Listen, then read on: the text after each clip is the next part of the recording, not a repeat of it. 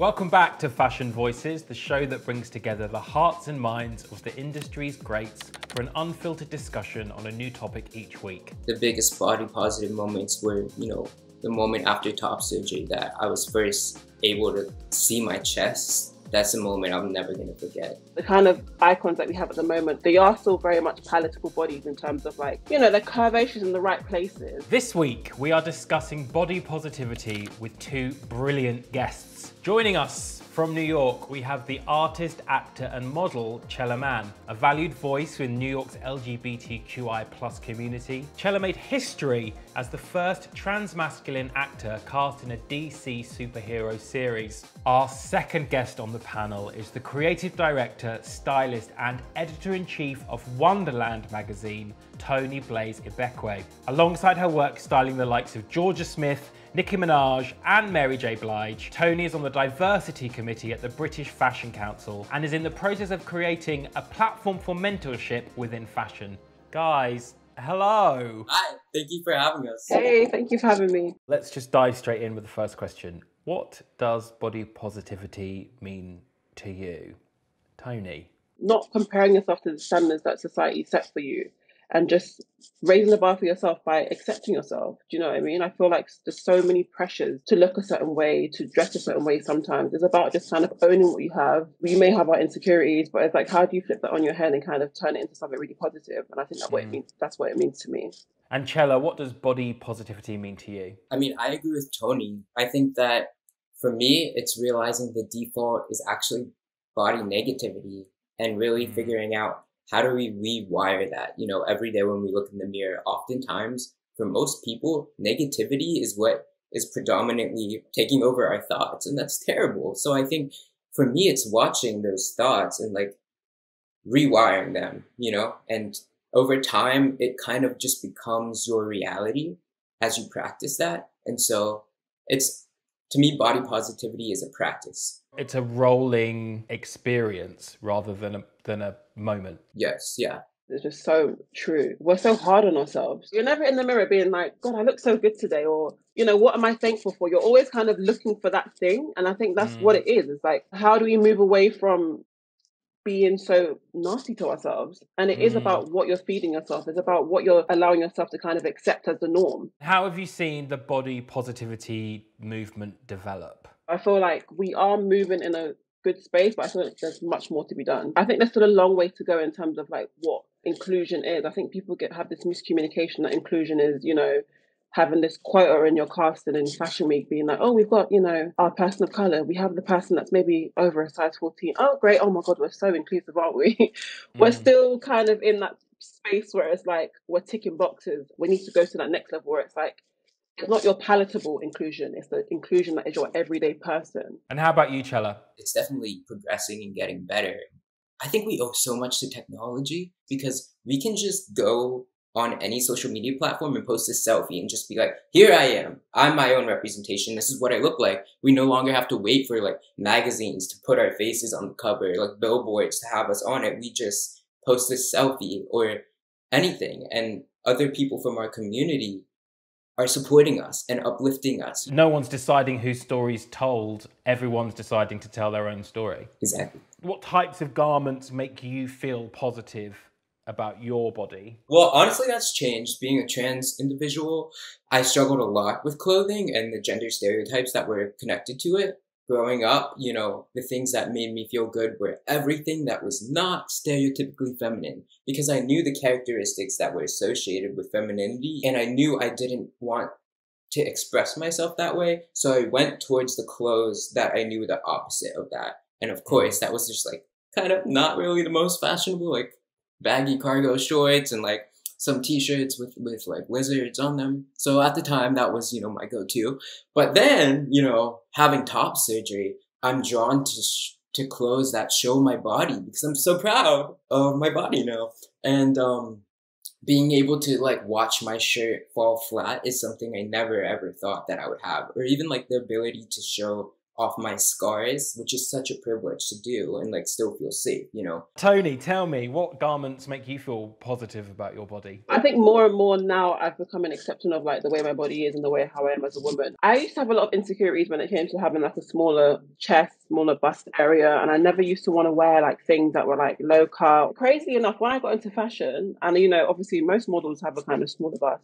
I kind of was like, oh my god, like maybe it's just quite model of me, like having this kind of like you know, I kind of found the positive, you know, mm. element in my insecurity. So yeah, I had a weird relationship in the beginning with that, and then now I'm just kind of like, bring me all the V-neck. Give me the V-neck. Give me the V-neck. Give me the deep V.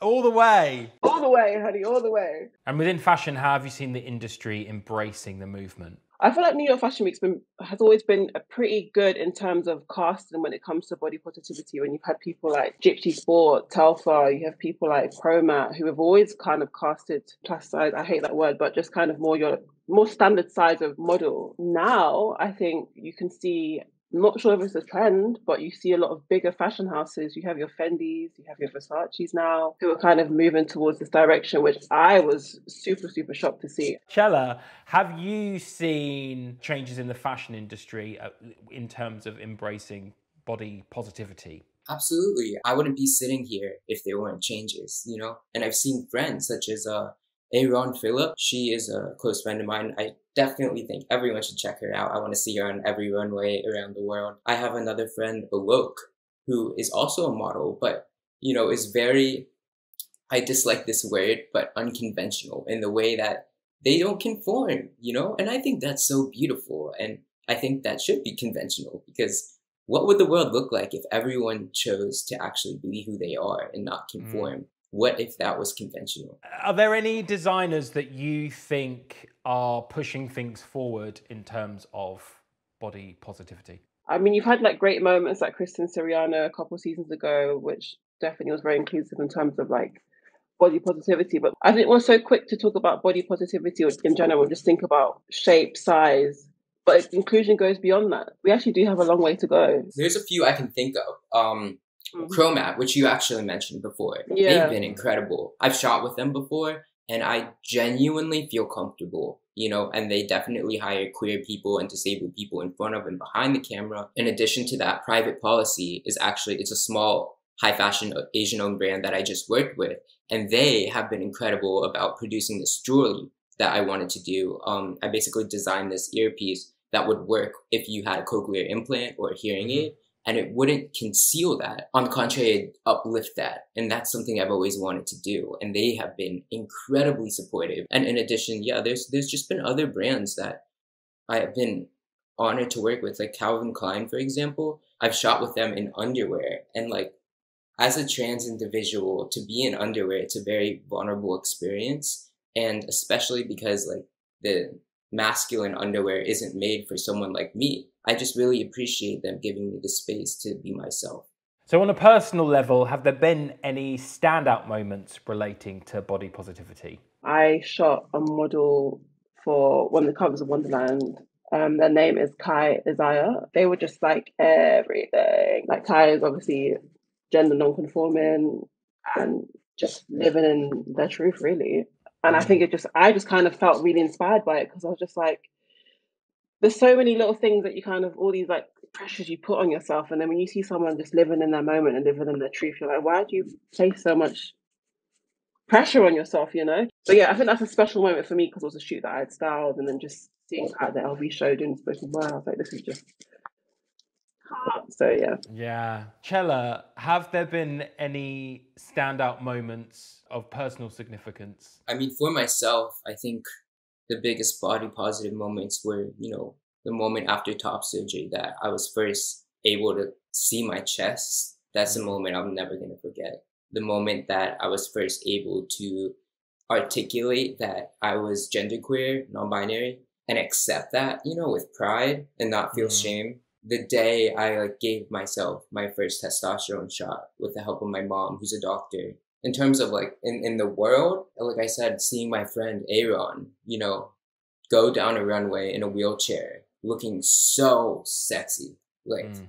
damn, that's what we need more of.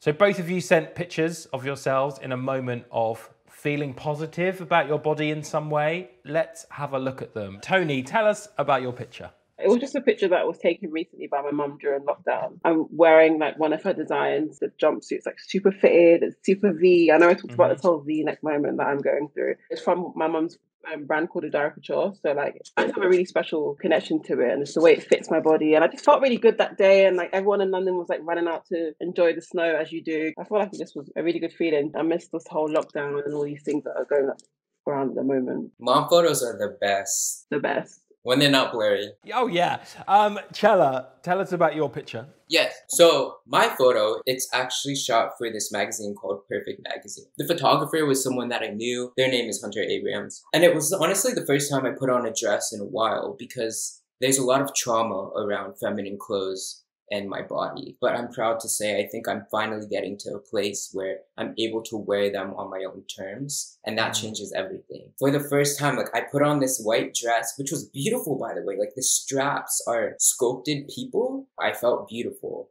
and I felt in touch with what I guess could be described as femininity, but also just like sensitivity and softness and gentleness. That's a very special photo for me because it really captured a moment that I was reclaiming dresses for myself. It's a great picture. It's the final question, sadly. In terms of what we've been talking about today with body positivity and fashion, what changes would you like to see in the future? On a very face value level, we can see inclusion and fashion shows, you can see inclusion in campaigns and stuff like that. But in terms of like a more internal level, we're still seeing brands send us, you know, basically size zero clothes and expect us to put it on your everyday person, whether they're an artist or even just like your model who is like super small some, most of the time. I've been on sets where I've had models really upset when they can't fit into clothing. And I think we need to kind of look into how does this kind of idea of body positivity trickle down to our internal kind of procedures. So yeah, for me, that's more so kind of more like a technical. No, I think it's really important. I was speaking to a plus size model literally yesterday, and she was saying that often on shoots, they will just give her a coat, and everyone else will have like normal clothes, and she'll just have to put a coat on. Which is not fun. That's not how it works. And how about you, Chella? What do you think the future of fashion should be? I think it begins with the distribution of power, um, centering the idea of collective liberation. You know, you lift up the people who are most affected by systemic oppression and listen to them, basically, and what they have to say, because there's not one person who can individually speak for every single group that is affected. You know, I think we need to uplift them and find them and just like ask them, what can we do? How can we help? What, what do you need to be supported? And in that way, we'll have a snowball effect. And instead of having to ever trickle down, they're going to be at the top to begin with. That's a great note to leave it on. Guys, we've run out of time. Thank you so much to both of you for joining me today. Thank you for having us. See you later. Thank you. Please don't forget to hit the subscribe button below for more fashion voices from Farfetch.